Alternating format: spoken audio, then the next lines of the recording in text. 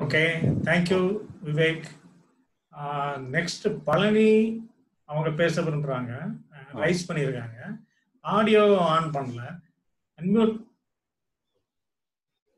பழனி நீங்க பேச விரும்புறீங்கன்னா ஆடியோ ஆன் பண்ணிக்கோங்க. அவங்க பண்ணல. நெக்ஸ்ட் நாதன். அவங்க வந்து ஐயாட்ட பேச விரும்புறாங்க. அன்மியூட் கொடுக்குறேன். நாதன் நீங்க ஐயாவோட பேசலாம். நீங்க வீடியோ ஆன் பண்ணிக்கிட்டீங்கன்னா ரெக்கார்டிங் யூஸ்ஃபுல்லா இருக்கும். எங்க இருந்து பேசுறீங்க? அதையும் நான் இலங்கையில இருந்து பேசுறேன். ஹலோ? இலங்கையா? சரி சரியா. வீடியோ போட்டால் கொஞ்சம் கிளியர் கிளியர் குறைவா இருக்கு நான் வீடியோவில் ஆள் பேசுறேன். ஆ, ஐயா ஐயா இது ஒரு இந்த ஞானமடல் சம்பந்தமான கேள்வி உண்டு. நான் இதுக்கு மேல இது பண்ணி தேடிக்கொண்டிருக்கிறேன் அதில் இருக்கிறேன் அப்ப வேற வேற இருக்கிற அந்த உடல் ஒரு நான் என்றதுல ஜீவன் சம்பந்தமா நான் ஜீவன் என்ற என்னன்றதுக்கு நான் உணர்ந்து கொண்டது எந்த அனுபவத்துல ஜீவன் என்றது வந்து எனக்கு ஜீ- உடல் ரீதியாக ஒரு உபாதை ஏற்பட்டாலும் என்ற உடம்பு ஜீவனை பாதிக்குது. மன ரீதியாக பாதிப்பு கவலை வந்து அதன் மூலம் ஜீவனை பாதிக்குது. அதே நேரத்துல கனவுல ஒரு நல்லது கட்டம் இருந்தாலும் ஒரு சாட்சித்தர கண்ட ஒரு மாதிரி ஒரு துக்க சம்பந்தம் கண்ட ஒரு மாதிரி. இது மாதிரி இப்ப ஜீவன் என்றது அப்ப இதெல்லாம் சேர்ந்து ஒன்றுதான் ஜீவன் நான் கருதுறேன். அப்ப இப்ப ஞானம் அடைதல் என்று போ ஞானம் நான் ஞானம் அடைகிறேன் நினைச்சா இந்த இதெல்லாம் சேர்ந்து இந்த இதெல்லாம் சேர்ந்து உணர்ற இந்த ஜீவன் இந்த மூன்றையும் உணரா விட்டுறதுதான் ஜீவ ஞானம் அடைதலா? அல்லது இதை உணர்ந்து கொண்டு அதுக்கு மேலால அந்த அறிவுப்படுறதுதான் ஞானம் அடைதலா? இதான் என்னோட கேள்வி சார். அதாவது ஞானம் நீங்க நம்ம நூல்களை எதுவும் படிச்சது இல்லையா? கொஞ்சம் கொஞ்சம் படிச்சு நான் இப்போ அண்மையெல்லாம் உங்களோட இந்த இதில் சத்தங்கத்தில் ஜாயின் பண்ண சந்தர்ப்பம் கிடைச்சிச்சு. இதுக்கு முதல் நான் உங்களோட இந்த யூடியூப்ல இந்த பார்த்து கொண்டு வரேன் நான். யூடியூப்ல இதோட பார்த்து கொண்டு வரேன் நான். அதுல ஞான பற்றி நீங்க நிறைய பேசியிருந்தீங்க. ரெண்டு தரம் கேட்டேன். அந்த நான் அதுல ஆனால் அதுல சரியான எனக்கு ஒரு விளக்கம் வந்து தேவை தேவையா இருக்கு சார் உங்களுக்கு நம்ம புக்கு எல்லாமே பிடிஎஃப் ஃபைலாகவே கிடைக்கும். அது வந்து நெட்லேயே நீங்கள் தமிழ் படிக்க வருமா இங்கிலீஷ் படம் தான் வருமா? தமிழ் இங்கிலீஷும் இல்லாங்க தமிழ்லன்னு சொன்னா கொஞ்சம் கூட சௌகரியமா இருக்கும். தமிழ்ல எல்லா புக்குமே தமிழ்ல இருக்கு. தமிழ்ல தான் அதிகமா இருக்கு இங்கிலீஷை விட. அதனால நீங்க தமிழ் புக்கை கொஞ்சம் டவுன்லோட் பண்ணிக்கிடுங்க. ஞான. விடுதலை ஞான விடுதலைன்ட்டு ஒரு புக் இருக்கு. ஞான. விடுதலை கவலைகள் அனைத்திற்கும் தீர்வு. தியானத்தை விடு ஞானத்தை பெறு. அப்புறம் ஞான பட்டறை ஒரு நாலு புக்கை வந்து நீங்க டவுன்லோட் பண்ணி அது வருஷப்படி இந்த வருஷப்படி படிங்க. ஞான விடுதலை. முதல்ல கவலைகள் அனைத்திற்கும் தீர்வு ரெண்டாவது. தியானத்தை விடு ஞானத்தை பெறு மூணாவது. ஞான பட்டறைங்கிற புக்கு நாலாவது. இப்படி இந்த இந்த நாலு புக்கையும் வரிசையா படிங்க. படிச்சீங்கன்னா உங்களுக்கு ஒரு இதாயிரும். இதுல வந்து ஞானம்ங்கிறத வந்து நிறைய காம்ப்ளிகேட்டட் பண்ணி வச்சிருக்கிறாங்க. அதனால அவங்களுக்கு அதனுடைய தாக்கத்தினால தான் அவங்களுடைய கேள்வி இப்படி இருக்கு. உண்மையிலே ஞானம்ங்கிறது ஒரு இன்டெலெக்சுவல் அண்டர்ஸ்டாண்டிங் தான். இன்டெலெக்சுவல் கிளாரிஃபிகேஷன் தான். இது எதுக்கு இந்த கிளாரிஃபிகேஷன் வேணும்னு சொல்லி சொன்னா நம்முடைய மனசு தான் எல்லாமே மனசுல இருந்து மனசு இல்லாம எதுவுமே இல்லை. மனசு மைனஸ் ஆயிட்டுன்னு சொன்னா நீங்களே இல்லாம போயிருவீங்க. அதனால மனசுல தான் எல்லாமே இருக்கு.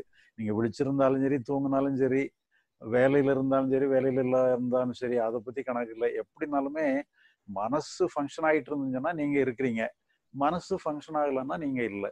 அதனால எல்லாமே மனம் சம்மந்தப்பட்டது தான் அந்த மனம் சம்மந்தப்பட்டதுல மனசு வந்து இயற்கையாகவே இயங்குது. இப்போ உதாரணமாக ஒரு குழந்தைய எடுத்துக்கிட்டீங்கன்னு சொன்னால் குழந்தைக்கு இன்னும் நாம் இப்படி இருக்கணும் அப்படி இருக்கணுங்கிற ஒரு கருத்துக்கள் அங்கே இல்லை.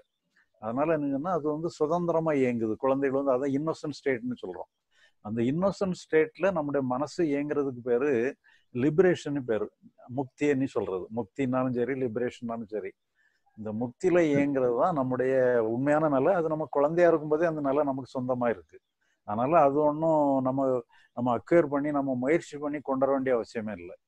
ஆனா என்ன பண்ணிடுறோம்னு சொன்னா அறிவு வளர வளர நம்ம அந்த இன்னோசன்ட் ஸ்டேட்டை டிஸ்டர்ப் பண்ணிடுறோம். அப்போ அந்த அறிவை வச்சு அந்த இன்னோசன்ட் ஸ்டேட்டை டிஸ்டர்ப் பண்ணக்கூடாதுன்னு சொல்லி அறிவுக்கு ஒரு எல்லையை போட்டுறோம் அறிவு வந்து நீ இதோட நின்னுக்க இங்கெல்லாம் வராதன்னு சொல்ற மாதிரி அறிவுக்கு ஒரு எல்லையை போட்டுறோம் இந்த அறிவுக்கு எல்லையை போடுறதுங்கிறது ஒரு கான்செப்டுக்கு வர்றது தான் நம்ம ஞானம்னு நம்ம சொல்றோம். அதனால ஞானம்ங்கிற பேரை சொல்லிட்டு எதையோ ஒரு பெரிய எக்ஸ்பீரியன்ஸ் எல்லாம் எதிர்பார்க்குற மாதிரி வேற எதையோ ஒன்று எதிர்பார்க்குற மாதிரி கிடையாது. உங்க மன இயக்கத்துக்கு நீங்களே தடை பண்ணக்கூடாது.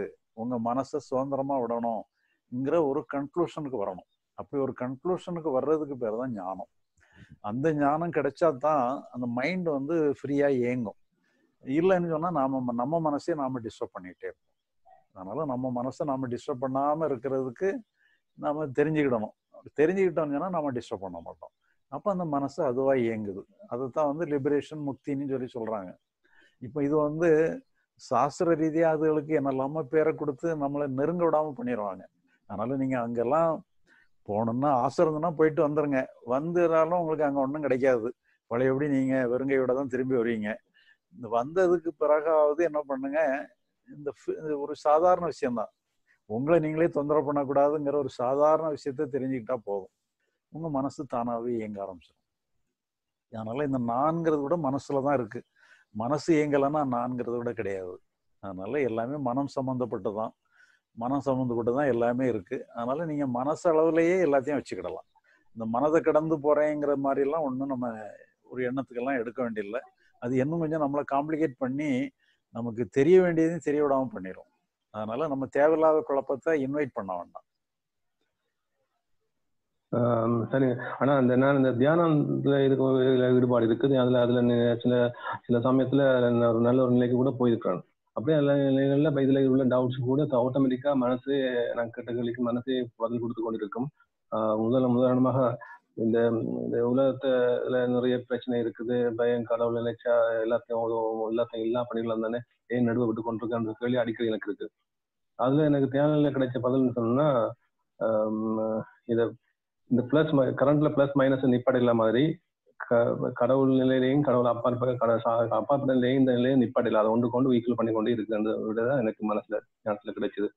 அதனால நான் அதை பேலன்ஸ் பண்ணிக்கொண்டேன் ஆனா இந்த நார்மல் நிலையில இருந்து இதுக்கு இருக்கல திரும்ப உலக விஷயங்களை சம்பந்தி மனசை குழம்புறதும் தியான நிலைக்கு போய் அதெல்லாம் எல்லாம் விட்டு போறதும் இருக்குது. நான் இந்த- இந்த மனசை ஆஹ், அந்த அந்த அந்த தியானில கிடைச்ச அந்த உன்னதான நிலையில சாதாரண நிலைமைக்கு வரைக்கும் அது இல்லாம விட்டு போகுது. அப்ப அதை அத- அந்த அதை எப்படி தக்க வைக்கிறது?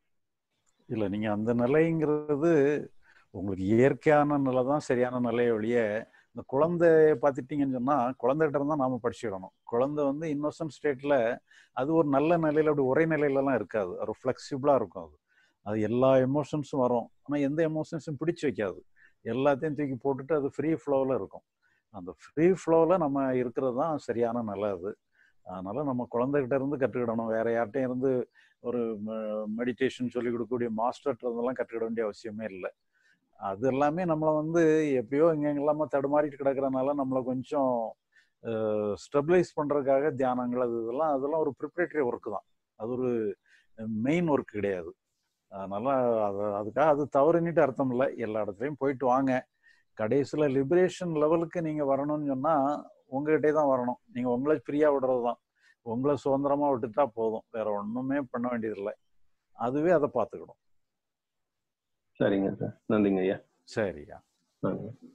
சரி, அஹ், நன்றி நாதன். உங்க பேரை எப்படி உச்சரிக்கிறதுன்னு உங்களுக்கு சொல்ல முடியுமா? நாதன்? எந்த பேர் என் பேர்? நாதன் பாஸ்கரன். சிதம்பர் நாதன் பாஸ்கரன். எழுதி இருக்கிறது பிஏஎஸ் எழுதிருக்கீங்க ஓகே நன்றி நன்றிங்க நன்றி நன்றி.